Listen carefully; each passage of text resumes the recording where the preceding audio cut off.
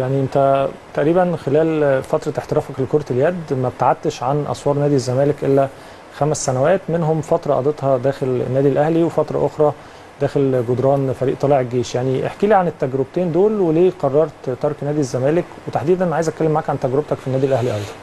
هو أنا هفتح لك قلبي بقى في الحتة دي لأن هو ياريت. كان يعني الحمد لله جمهور الزمالك آه، عرف آه، قد إيه أنا بحب النادي وقد إيه آه، دمي كله زملكاوي أصلا وده مش شعارات ده حقيقي. لأن هو فعلا له الفضل الأول والأخير في اسمي وفي حياتي كلها وفي كل اللي أنا فيه أصلا من خير يعني هو نادي الزمالك هو الفضل الأول والأخير. تمام.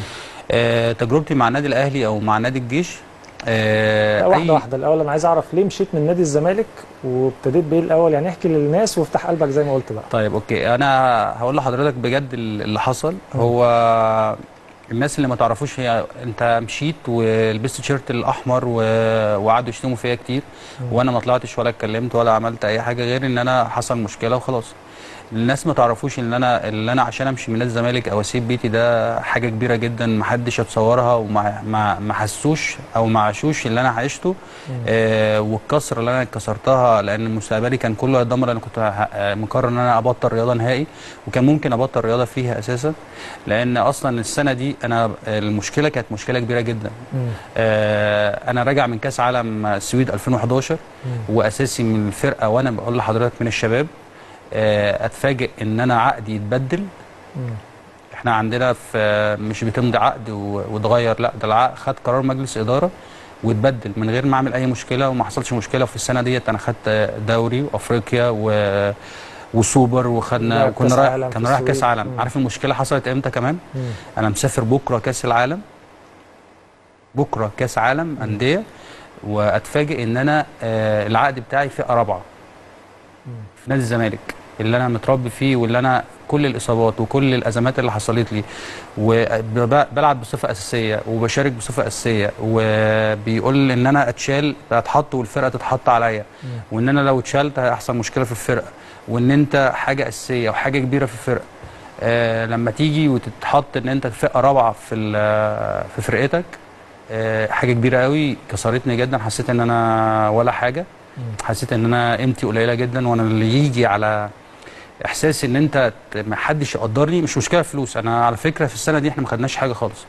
وفي نادي الزمالك أنا أول سنة ليا درجة أولى ما خدتهاش لحد دلوقتي. ولينا سنتين بعد حصل الثورة آه، ما خدتش آه، لحد دلوقتي سنة ونص من ال- بتاع. أنا ما اتكلمتش في فلوس. والناس اللي ما تعرفوش إن أنا ما رحتش الجيش أو رحت الأهلي عشان أخد فلوس خالص. ما ما لعبتهاش مادة خالص. وفي نادي الزمالك أنا كنت باخد أقل حد وما بتكلمش. كنت لما أجي أشتكي ما كنتش بشتكي لحد خالص غير إن اللي بشتكي لأحمد أخويا أقول له أنا إزاي باخد قليل كده؟ وأنا ليه ما بتكلمش؟ آه، وما أعملش مشكلة أصلا. آه، هو اللي ما بيتكلمش ما بياخدش حقه. قال لي لا العب ولعبك هو اللي هيجيب لك حقك. قعدت سنين على القصة دي إن أنا ألعب بس وأحقق بطولات وأموت نفسي وأتصاب ويحصل لي حاجات كتيرة وما بتقدرش. سنة في الثانية قلت لا خلاص هتقدر. طيب حصلت إزاي مفاوضات النادي الأهلي؟ يعني انتقلت إزاي للنادي الأهلي؟ النادي الأهلي اللي برضو الناس برضو الزملكاوية ما يعرفوش إن أنا قعدت ثلاث سنين في الجيش. ثلاث سنين في الجيش ده الأهلي عاوزني. وكنت بلعب في الجيش سنة واحدة بس. كنت في الجيش كنت بروح بشروطي. أنا بعد نادي الزمالك أنا بمملي شروطي على أي حد. ولأن كان كل اللي بيفاوضني كان ساعتها كان نادي الجيش وكان سموحة وكان سبورتنج وكان آه، الأهلي ساعتها.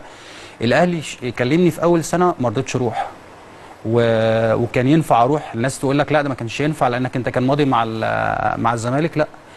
نادي الزمالك غلط غلطة كبيرة جدا. كنت ساعتها ممكن اذي اذي المد... المدرب اللي اذاني ساعتها وما رضيتش أعمل كده عشان برضو أنا ما بحبش اذي حد. المدرب اللي خدني لنادي الجيش كنت ممكن اذيه لأن آه، ساعتها نادي الجيش استغنى على الاثنين لعيبة لنادي الزمالك وتسجلوا وأنا ما كنتش لسه سجلت في نادي الجيش. كان يحق لي إن أروح للأهلي. وكنت قاعد مع مدرب ورئيس الله يرحمه كابتن كابتن جمال حافظ.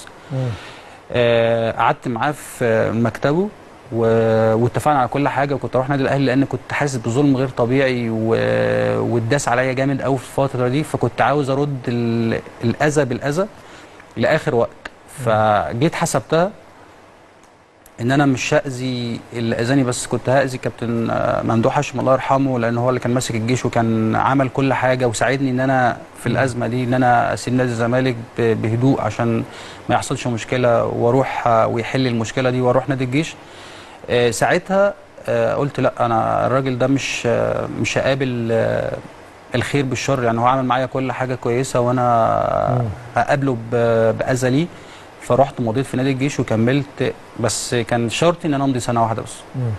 مضيت سنة واحدة في نادي الجيش تاني السنة كان آه، كابتن عاصم حماد كلمني والكلام ده مش بقوله كلام وخلاص لأن كان اللي بي اللي كان بيفوضني بعديه أو كان بيخليه يكلمني كان كابتن كريم السعيد آه، كابتن الفريق. آه، كريم هنداوي كان ساعتها في نادي الأهلي كلمني عشان خاطر أجي نادي الأهلي. ما رحتش السنة الثانية والسنة الثالثه رحت الأهلي إزاي بقى السنة الرابعة؟ رحت كان ساعتها أنت عارف إن الزمالك الفترة دي كلها اللي أنا كنت في الجيش واللي أنا كنت رايح الأهلي كان ما فيش فرقة.